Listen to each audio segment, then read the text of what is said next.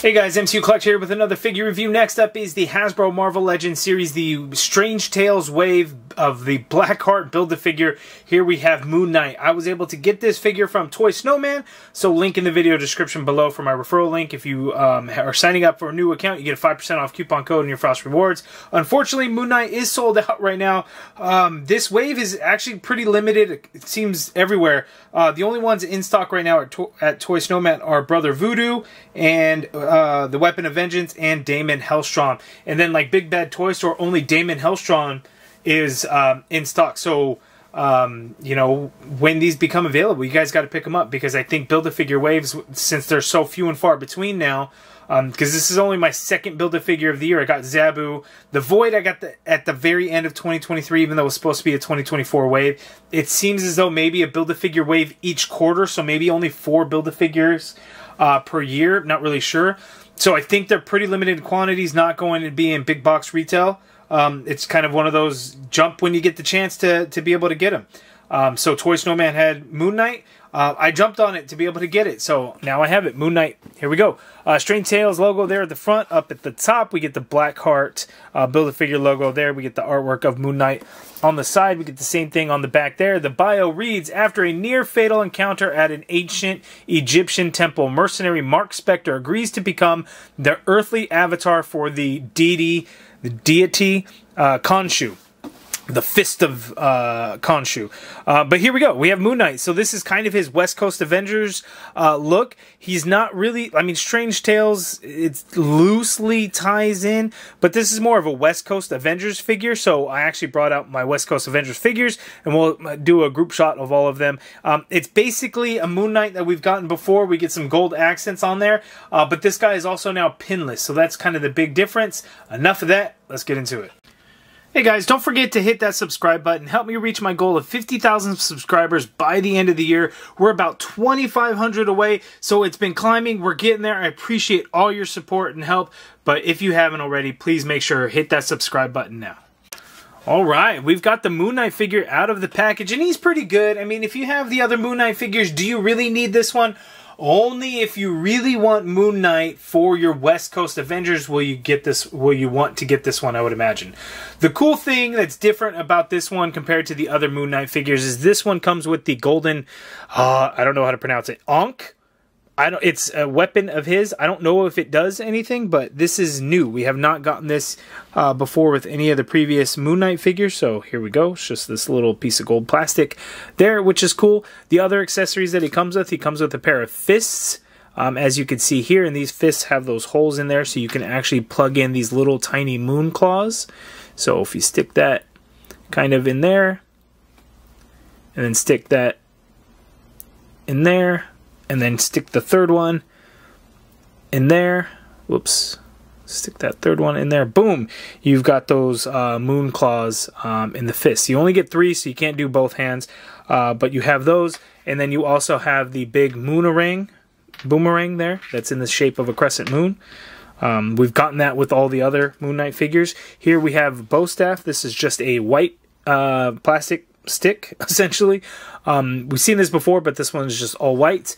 Uh, but we also have the head sculpt to the Blackheart Build-A-Figure, and this thing is absolutely incredible. And I don't know how well the purple paint is really coming off in this video. I feel like it's not, but there's some awesome purple paint that's going on throughout, like the hair. I guess it would be hair in there, and the texture of it is kind of crazy. Um, this thing is really cool. I'm really getting excited to take a look at Blackheart when he's all put together. So very excited for that. We'll go ahead and throw that off to the side along with the body that came with Storm, and we'll take a closer look at Moon Knight. Oh, and before before we take a closer look at Moon Knight, I do want to point out that he does have a different cape than the other Moon Knight figures that we have gotten. So I brought one Moon Knight out figure out for us to do a comparison. And forgive me, I don't know if this was the original Walgreens exclusive release or if this was the Target exclusive retro release. Um, I don't know which one this was, to be completely honest with you.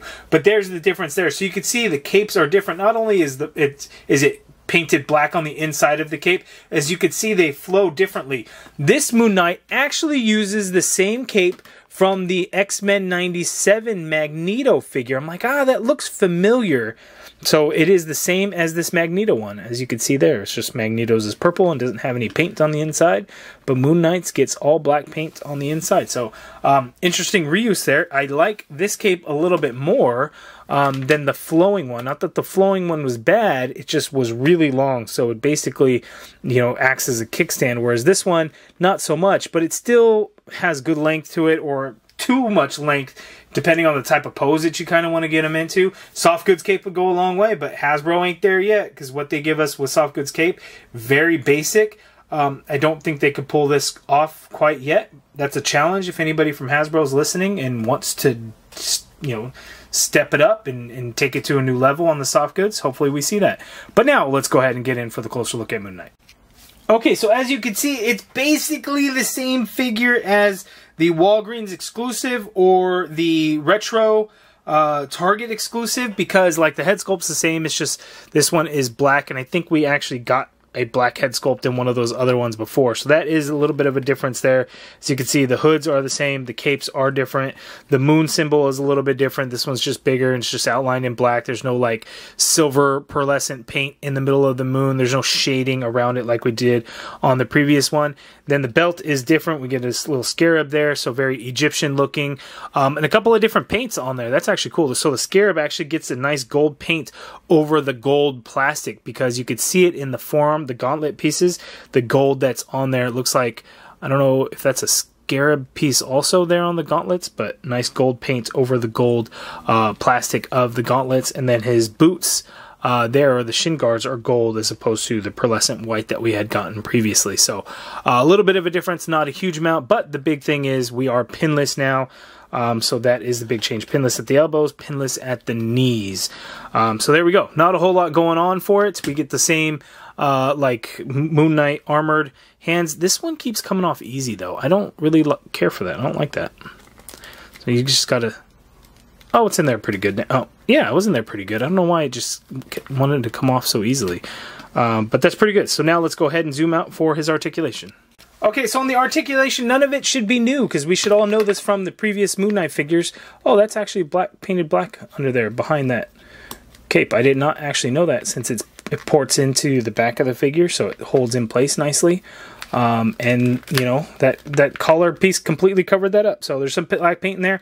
Um, can't really get him to look up. You can turn the head a little bit there. He can look down somewhat um, there. The arm you can get to go straight on out like so. You can do a full rotation. Just be mindful of the cape. Uh, and then you got the butterfly joint, which works out really well, except the cape really gets in the way of getting that arm to go back. But getting that arm to come forward, you can get some crossbody in there, which is good. Upper bicep swivel, double jointed pinless elbow. gives you that much bend there, which is quite nice. Wrist swivel, and they do hinge. These grip hands here have the, uh, the vertical hinge. The fists have the standard horizontal hinge. We have an ab crunch on this guy, so we can crunch forward that much there, which is pretty good. You can go back a ways, but with the cape, it's definitely gonna kind of stop it from being able to use. You got a waist swivel in there, legs go out that far apart. He can kick forward very far. Uh, leg goes back tiny, tiny bit. You got an upper thigh cut in there, double jointed, pinless knee. That much bend there. You got a boot swivel right at the top of the gold there. Foot hinges down all the way. A little bit of hinge up, but the foot hits that shin guard there. Ankle pivot, pegals at the bottom of the feet. So there we go. Moon Knight now in all pinless, which is really nice. These forearm pieces are uh, new, so it's not like you can just like swap them around if you just wanted like an all white to be pinless. That's not how that's going to work, unfortunately. You could do it with the legs, um, but not not with those arms there. That would not uh, work out. So but there we go, Moon Knight. Oh, I lied, by the way. These gauntlet pieces come off. I thought that was a, just a new sculpted forearm. It's not. My mistake. That's why this hand kept falling off, because this gauntlet piece wasn't pushed down all the way. Oopsie. Okay, so full side by side of those two Moon Knight figures there. Um, again, I like the curves of this new uh, cape, and I like the black paint, uh, paint on the inside. The gold does really kind of make him pop and stand out. I mean, the white on here for the gauntlets and the boots and the belt were a pearlescent color, which was kind of nice, but the gold really stands out and really looks good. But you guys let me know which look do you prefer, the West Coast Avengers look or just kind of that standard Moon Knight, Moon Knight look?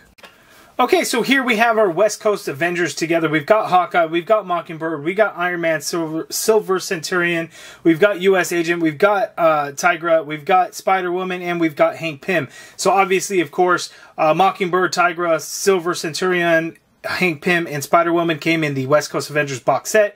Hawkeye came with the Sky Cycle, and then U.S. Agent came in the Controller Build-A-Figure wave, um, I think. But hey, now it looks like, for the most part, I think we have the West Coast Avengers together. We've got White Vision, we've got Wonder Man, which I didn't bring out Wonder Man, um, Scarlet Witch, if you wanted to include her. So we've got uh, the West Coast Avengers. If there's anyone missing, let me know down in the comments below. Okay, so we are two figures into the Blackheart Build-A-Figure wave. The Bloodstorm Vampire Storm figure and Moon Knight. So we have the torso, we have the head. We're going to be rolling along. I think the next figure review is actually going to be Lilith. I'm just going to go in order of what's on the back of the package. So, uh, yeah, Lilith will be next, then Dracula, then Daimon Hellstrom, then Brother Voodoo, and then we'll finish out with Weapon of Vengeance. Uh, so stay tuned for more figure reviews. Let me know down in the comments below what you think of this Moon Knight figure. What do you think of the Bloodstorm figure? Which figure is your favorite from the wave? Um, did you get the whole thing? Are you looking forward to Blackheart? Let me know down in the comments below. If you guys like this video, please do me a favor and hit that thumbs up button. Subscribe if you haven't already done so. Help me reach 50,000 by the end of the year. I know we can do it with your help. Uh, greatly appreciated. And as always, guys, thank you for watching.